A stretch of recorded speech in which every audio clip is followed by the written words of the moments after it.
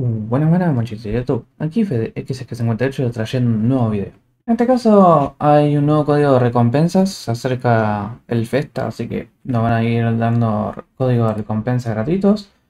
Recuerden que lo pueden canjear desde la página web o desde el juego mismo, en la parte de cupones, que es lo que voy a hacer.